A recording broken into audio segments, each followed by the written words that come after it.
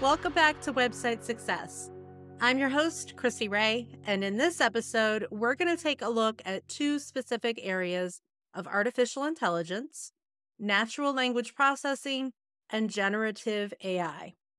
I'll also talk a little bit about using AI specifically for your websites, and even more specifically, using both natural language processing and generative AI.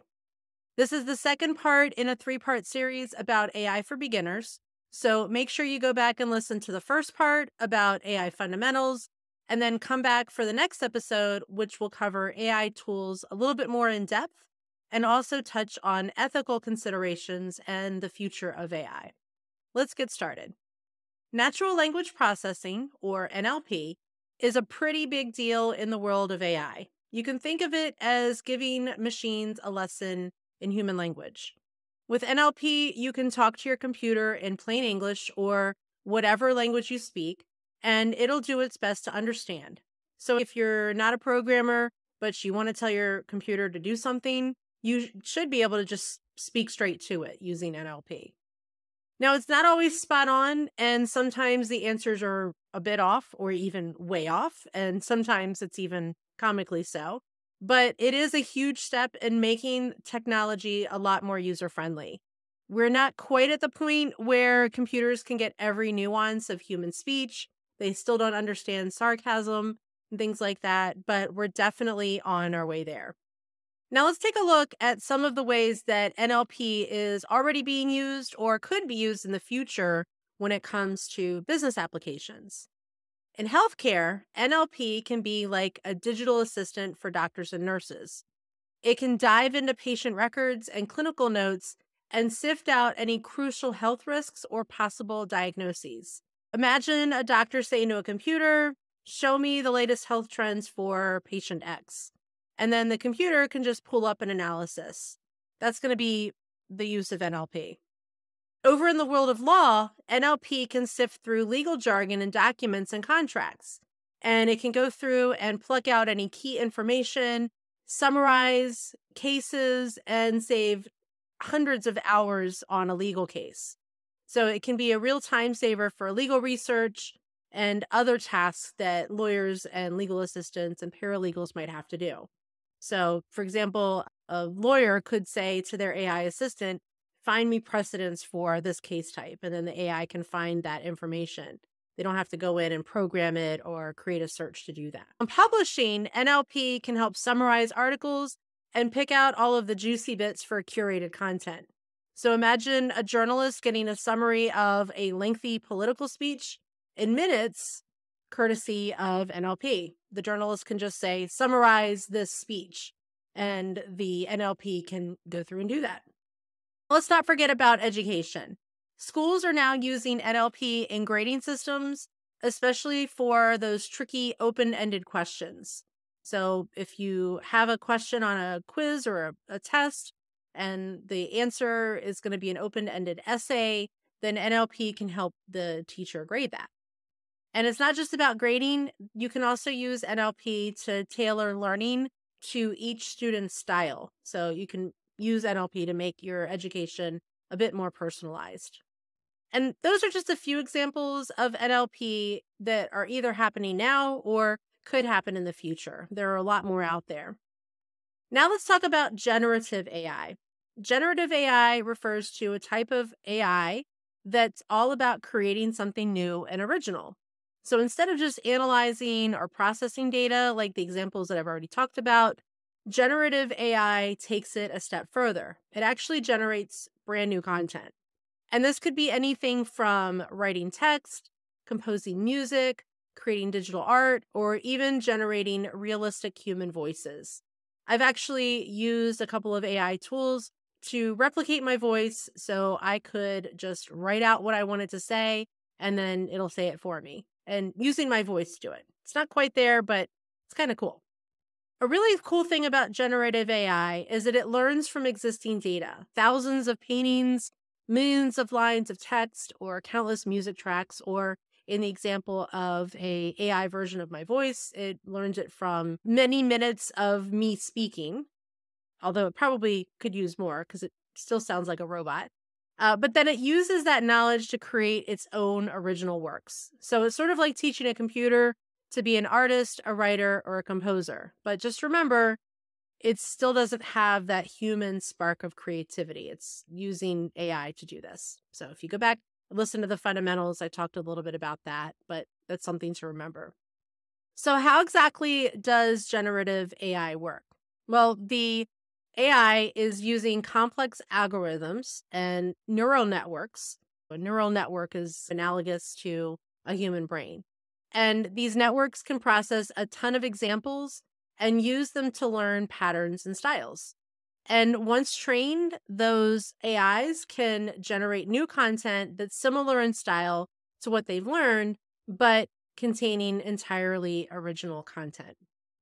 One of the best known examples of generative AI is OpenAI's GPT, which can write pretty impressively human like text.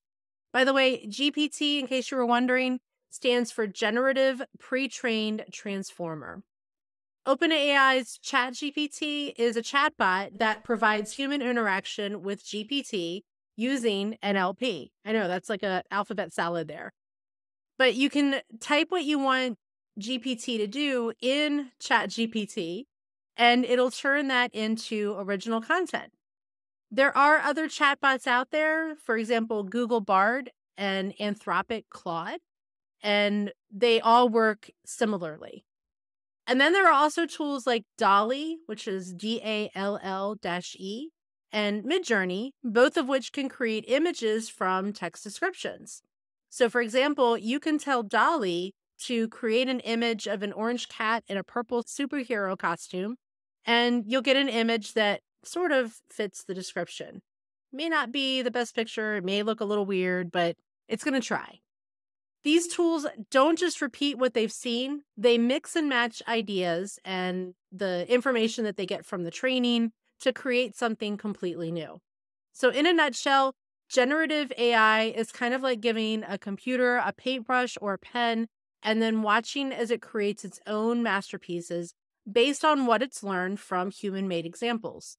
It's really an exciting area. It's probably my favorite area of AI because it really opens up a world of possibilities that were previously unimaginable. And it can really save you a lot of time when it comes to creating text, graphics, and things like that. Now, let's talk about how you can use AI specifically for your website. And you've got a lot of options. Some of these use NLP, and some also use generative AI. So, the first up is chatbots. If you've ever messaged a website late at night saying, Do you have this in my size? And then you got an instant reply, that was probably a chat bot. You can add one to your website and it can chat with visitors just like a human. It can answer questions, guide them through your site, and even crack a joke or two, depending on how it was programmed. It's sort of like having a digital greeter and a helper that's always ready 24 7 and always smiling. Chatbots can also hand over the conversation to a human if there's a human monitoring, if they can't answer a visitor's questions. And you've probably seen this in action on websites before. You can use tools like Intercom or Talk To, and Tawk.to is T A W K dot T O. And you can use those to add AI powered chatbots to your website.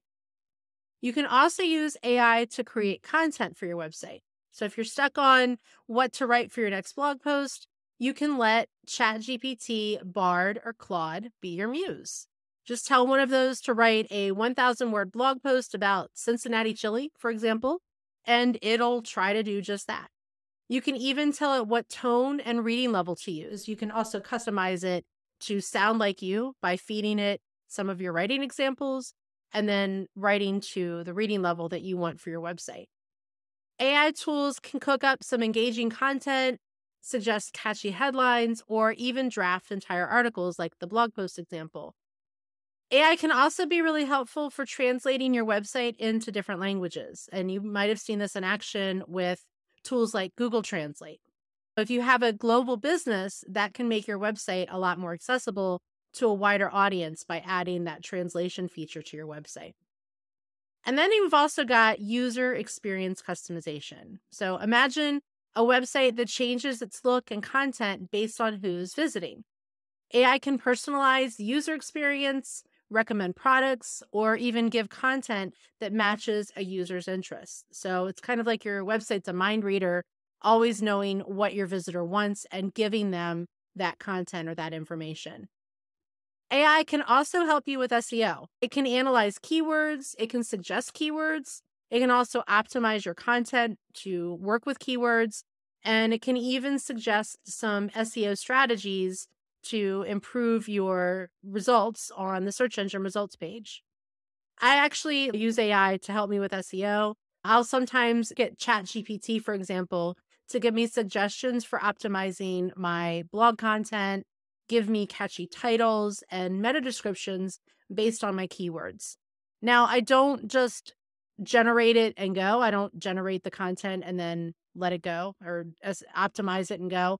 I still have to add a human touch in there. You can also use AI to create graphics for your website. So, say you need an image of a beach with flying cars for your blog. You can just describe it to DALL-E or Midjourney and then watch it bring your futuristic beach to life. Canva also has some really cool AI features that you can use to generate graphics, not just for your website, but also for your social media and other aspects of your business. And that, my friends, wraps up our whirlwind tour of NLP and generative AI. We've seen how these incredible AI technologies are not just changing the game, they're creating a whole new playing field. And let's not forget the amazing ways that AI can transform your website into a more engaging, dynamic, and user friendly space. So, whether you're thinking about introducing a chatbot, crafting content, or spicing up your website, with some nifty AI generated art, the possibilities are endless. AI is here to make our digital experiences not just smarter, but also more creative and more personalized. Thank you so much for tuning in to Website Success. As always, I'm Chrissy Rey, and it's been a blast exploring these cutting edge AI mm-hmm. technologies with you. Remember, this is just the beginning of our AI journey, or it's actually the midway of our AI journey. In our next episode, we'll dive into some practical AI tools that you can use. And we'll also talk about some of the big questions like the ethics of AI and some of the possible futures of AI. It's a conversation you don't want to miss. If you have any AI experiences or questions that you'd like to share, or if you've tried out some of these AI tools on your website or in your practice, then drop a comment in the Website Success Facebook group or send me a message. I would love to hear from you. Until then, I'll see you in the next episode.